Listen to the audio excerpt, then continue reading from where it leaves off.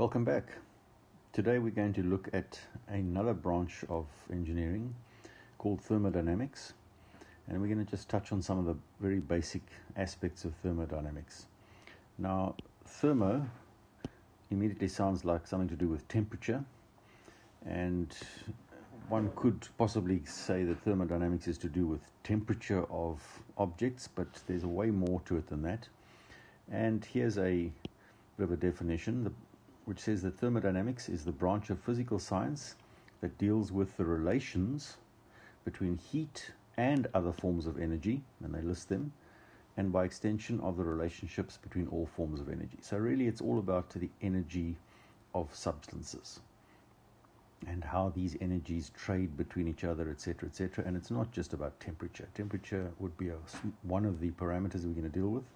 We're also going to deal with pressure, volume, and all sorts of other parameters. Right, to kick off, we're going to start by defining closed and open systems. And let's start with the closed system.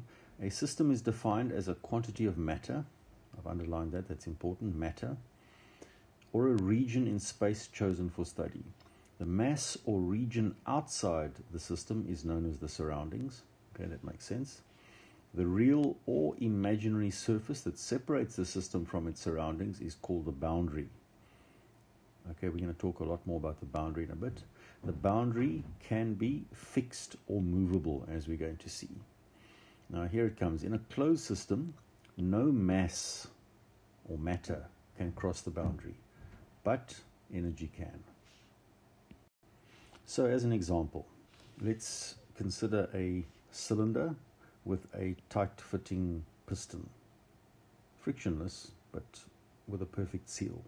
Okay, so the blue is the piston, it's round obviously, and the cylinder is round, and the piston would rise and fall as the pressure changed in this volume down here.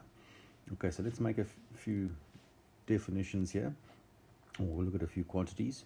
First of all, it's going to be a closed system. Clearly, no matter can enter or leave this space here. And around the area, we're going to have the red dotted line, which indicates the boundary of the area of interest for us. And here in the first instance, the closed system contains matter or mass of 2 kilograms, and it happens to have a volume of 1 cubic meter right here. Okay, now we light a fire, for example, underneath this cylinder. Now we all know what's going to happen. As you heat the gas in here, it increases in volume, pressure tries to increase, but in this case it can't because the, the piston simply rises. And this same closed system with that same amount of mass or matter inside, in other words, the two kilograms, is now sitting at a volume of three cubic meters. Okay, so that would be an example of a closed system. The closed system did, however, receive energy through the boundary. As you can see, the fire heated the cylinder walls and the energy moved through the boundary and entered into the closed system. So that follows our little definition over here, which said that no mass can cross the boundary. It didn't but certainly energy did come in from the fire that was underneath the cylinder. Now, in an open system, sometimes called a control volume, mass as well as energy can cross the boundary. As an example, let's consider one of these old fashioned water geysers, sometimes called a donkey, where you essentially light a fire under a vessel and you pump water in and water exits. Obviously, the water is hotter when it leaves. This would be exactly what we were talking about an open system. Consider the water geyser depicted below. Both mass and energy enter and exit the control volume. Okay, so obviously that's a little bit more complicated than the closed one. So to recap, in a closed system, no mass can cross the boundary, but energy can. In an open system or control volume, both mass and energy enter and exit the volume. Now, we'll be using the word state quite often, and state is simply a set of properties that define the condition of a system. Okay, now here are some of the properties, not necessarily all, but in this particular system, we are saying that there is two kilograms of matter or mass in the area, and the temperature happens to be 20 degrees C over here, and the volume happens to be one and a half cubic meters. Okay, and here is the same system, still with the two kilograms of mass, still happens to be at 20 degrees C, and the volume is now increased. So that would simply be the state or condition of a system defined by those properties. We'll also see the word equilibrium used here and there, and that is simply a question of the system being stable. Okay, the wording is when there are no driving forces present to change any of the conditions. So, in other words, the temperature is not busy changing or the pressure is not busy changing. In other words, all conditions are pretty stable and balanced. Now, a system can go from equilibrium to another state of equilibrium. Okay, and in both cases be in equilibrium. But this change from one state of equilibrium to another is going to be called a process. Now, here's an example of a process. We have the same piston cylinder arrangement and we have a closed system depicted by this boundary over here. And on the right hand side, we have a graph that is plotting pressure versus volume, PV diagram, in other words. And at position one, which is when the piston is down here, we have a large volume. As you can see, we're on the far right of this graph. And then we apply a force to the piston. And as can be imagined we squeeze that volume into a smaller space thereby increasing the pressure. So point 2 is at a higher pressure and a lesser volume. Now the route that we took to get from here to here from point 1 to point 2 is called the process path. And we are undergoing a process okay so that's another word that you've got to get used to and this example would be an example of a closed system process. Closed system. Remember, closed system is one where matter does not enter or leave the system, but certainly energy can. In this case, the energy came from mechanical work being done on the piston. Now we move on to specific heats. Now, probably in your school studies, you were taught that the specific heat of water was 4198 joules per kilogram Kelvin. Now remember what that was. That was the energy required to raise the temperature by one degree for that water. Now, when we talk about gas, the same idea applies, but it's a little bit more complicated. Okay, so there are two ways of looking at this. Depending on how the process is executed, the value varies. Okay, now if you are raising the temperature of one kilograms of the substance but maintaining constant volume throughout. Okay, there's a way that one can do that. We'll talk about that in a moment. But then the value would be referred to as C subscript V. Okay, which would be specific heat at constant volume. Conversely, if you were doing exactly the same thing but maintaining constant pressure, it would yield a different value. Okay, so we're going to have CV and CP used extensively, and the two differ. CP is always greater than CV. Okay, and the reason for that is extra work is required to expand the gas. Okay, so just remember at this stage that CP is the greater of the two. And in fact, the difference between the two, CP being the greater, is equal to CV, which is the lesser, plus this new value we're going to talk about now called R. Now this value R, better known as the gas constant, whose units would also be kilojoules per kilogram Kelvin, varies quite extensively. And here's a little table. Let's start with air. R is 0.287 joules per kilogram Kelvin. In fact, that's the first one in the list over here. And then there are lots of other gases that you can see all the way down here. So keep this table handy. We're going to need it again. Just let's recap what it is. What is R? R is this value here, which is essentially the difference between Cp and Cv. What is Cp and Cv?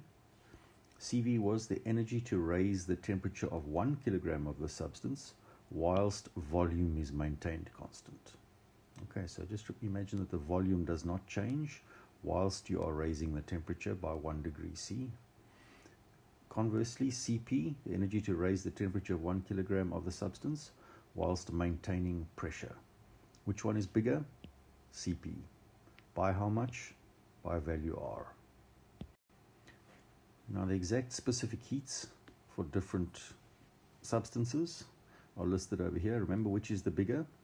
Cp is always bigger than Cv and here are Cp and Cv values at a particular temperature. So this is quite complicated in that the values themselves change at different temperatures and here is an extract of values at one temperature namely 300 Kelvin or 27 degrees C. Okay, so there's air for example CP 1.005, CV 0.718, CV being less than CP. Take oxygen as an example 0.918 CP and a lesser value of CV of 0.658.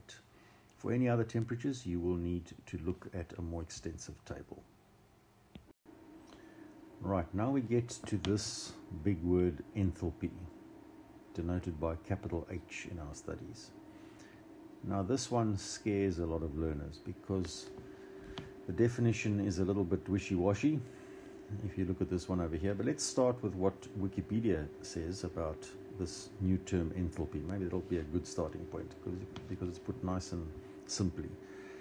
Enthalpy comprises a system's internal energy. Okay, so enthalpy's got something to do with internal energy, which is the energy required to create the system. Okay, so that's the energy possessed by the matter. But wait for it, plus the amount of work required to make room for it by displacing its environment and thereby establishing its volume and its pressure. So, if you wish to have a parcel of gas in the room right in front of where you're sitting now, not only do you need to create it or obtain it and thus know that it has internal energy, you also have to push air out of the way to create its environment. Now, enthalpy caters for all of the energy, not just the energy possessed by the matter, but also the fact that you had to get it to where it is and displace the surroundings, which takes work. So it's a little bit abstract, but we need to get comfortable with, what this enthalpy term is. So, a slightly more formal definition would be the following When studying certain thermodynamic systems, it is often convenient to deal with the sum of two quantities, U and PV, PV being the product of pressure and volume. The resultant combination quantity is simply referred to as enthalpy. Okay, so the definition doesn't say too much other than it is the sum of U and PV. So enthalpy is H equals internal energy plus the product of pressure and volume. Remember, that was the energy required to create the space or the environment for that substance to live. Now, here we for the first time see capital letters and lowercase letters and lowercase simply means per unit mass. So that will simply be all the quantities will be per kilogram, whereas here we are dealing with totals when we have capitals. So we're going to use that a few times.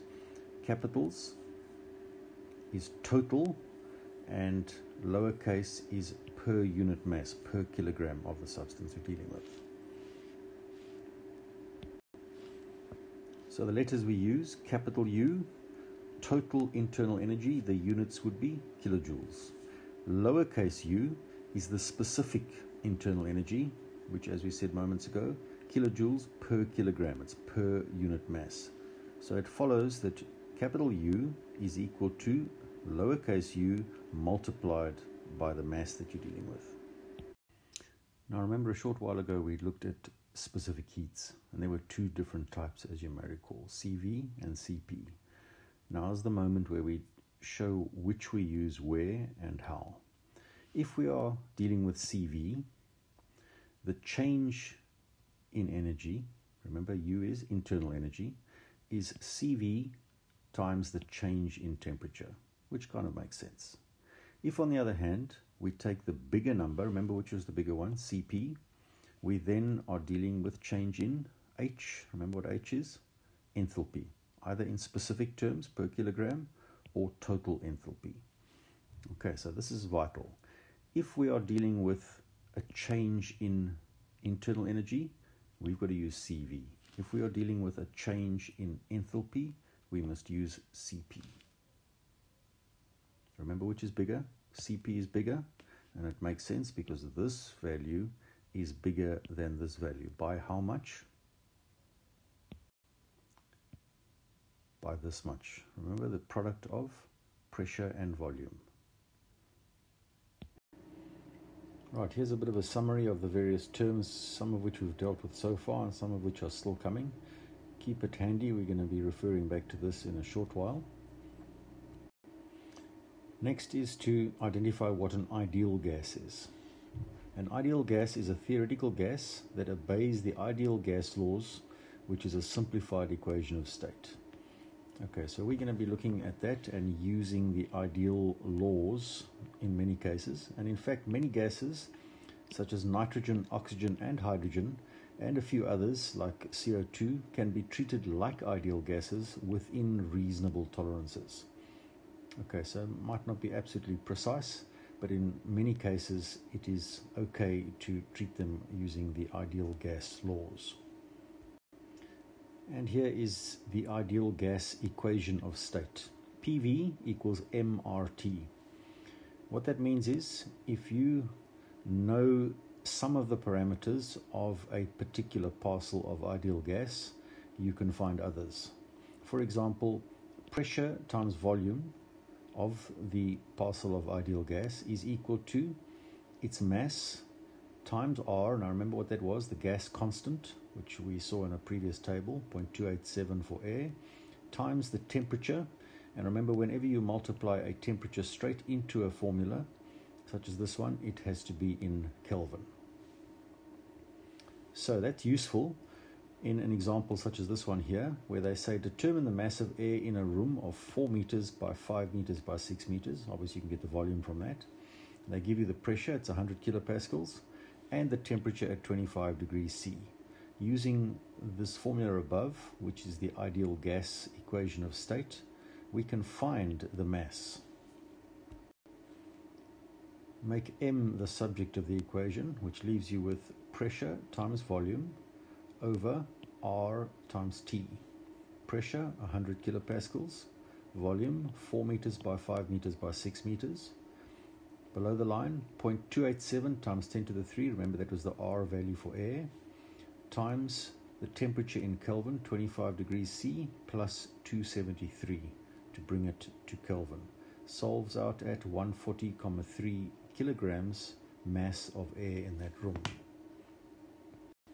Now, if we take that a step further and we use PV equals MRT for a closed system, which is moving from one state to, a, to another, you can make MR the subject of the equation, remembering that the mass and the R value for a substance in a closed system is not going to change as it changes state.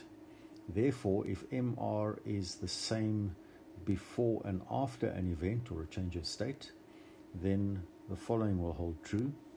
If MR is PV over T, then the first set of PV over T values must equal the second set of PV over T values. In other words, P1 V1 over T1 is P2 V2 over T2, where 1 is the initial state and 2 the final state. Next is the first law of thermodynamics, which says that energy can neither be created or destroyed, it can only change forms, and hence for a closed system, changing between two states, it simply means that the change in total energy of the system is equal to the energy entering the system minus the energy leaving the system. Okay, and here's the important part, or the lucky part. The actual value of the total energy is not necessarily required to be known. So you don't necessarily need the actual value here or here. You're often just interested in this change in energy. Okay, so let's describe that via a little example. And we are given an example that says during a process, a closed system, there it is, receives 15 kilojoules of heat. So there could be a flame under here or some other source of heat. It gives up 3 kilojoules of heat. There it is. Maybe it's lost to the surroundings. And has 6 kilojoules of mechanical work performed on it. Calculate the total change in energy during the process. Well, according to the first law, it says change in energy equals energy that came in minus energy that went out. Now, energy coming in, we were told 15 kilojoules came in here. 6 kilojoules came in as work done, perhaps a shaft turning an impeller. It is work done on the substance inside here, minus that which was lost, probably to the surroundings, leaves you with a total change of 18 kilojoules positive. Now, in that previous example, it was fairly easy to understand the flow of energy because it was a fixed volume and there was simply energy coming in, energy going out, and it was a simple bit of arithmetic to sort that out. However, if we now have a boundary, if one or more of these edges of this closed system can move, then there's going to be work done either inwards or outwards. So, in a closed system with a boundary that can move, there will be work done if that boundary moves as a result of pressure acting upon it. Okay, so there's going to be a number of examples where one of the boundaries can move. For example, a piston in a cylinder. For example, a balloon that inflates under pressure, etc. We're going to have to look at the work done to move that boundary. So if we go back to basics for a moment, you may recall from basic mechanics that work done is force times distance. And if we take that square or rectangular box, if you want to call it that, that we had in the previous example, and we consider that pressure is force over area, and hence force is pressure times area. So whatever pressure is acting on one of those walls of this box, multiplied by the area would give us force. And at the same time, volume is distance times area. So distance moved, that'd be this one. This is now assuming this boundary over here is going to move from left to right as a result of the pressure acting on it. How far will it move? Well, distance is volume over area. So if we take that and say work done is force times distance, here's the force, there's the distance, Distance came from there, force came from there. Obviously, the areas cancel out and we are left with pressure times volume.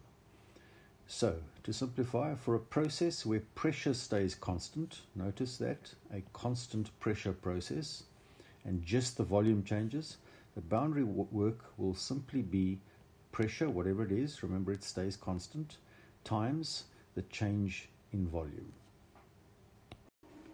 Another way of putting it would be final pressure times final volume minus initial pressure times initial volume. That should be a 1. Looking at that graphically, the process going from 1 to 2, and we draw it out on a PV graph.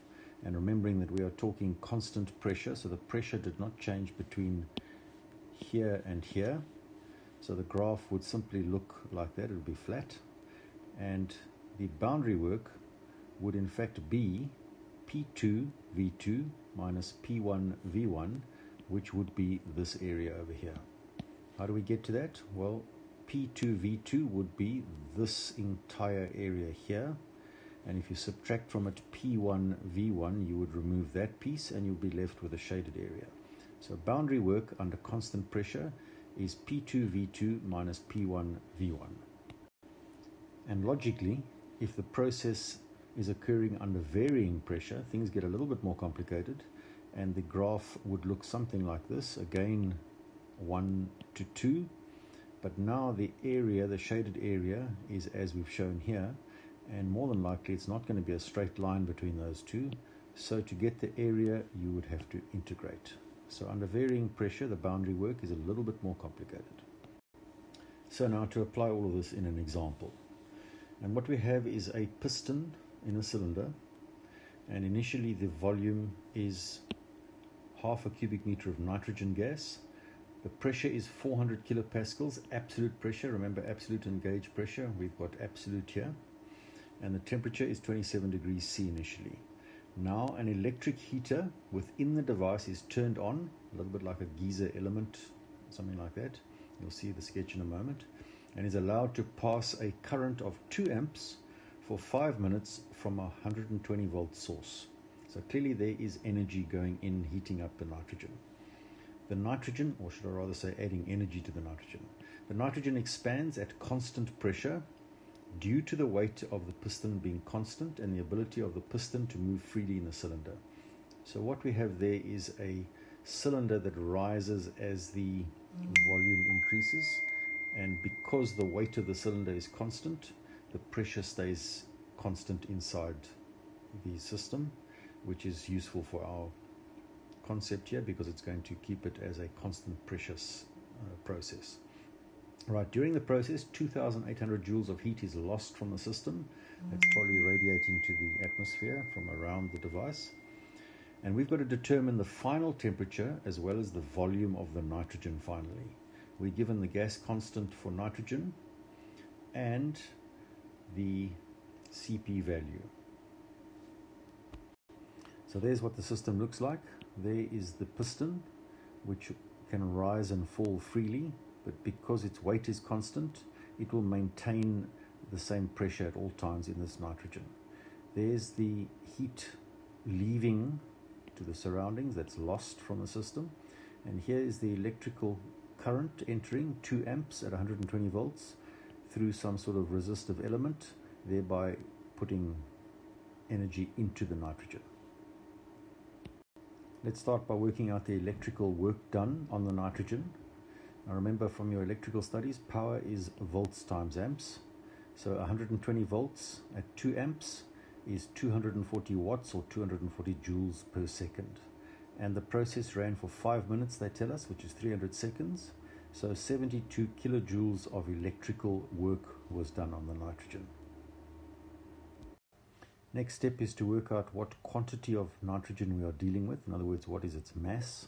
And remember the formula PV equals MRT we can use, make M the subject, and we have pressure given as 400 kilopascals absolute times the initial volume, which was 0.5 cubic meters, over the R value for nitrogen multiplied by the temperature in degrees Kelvin.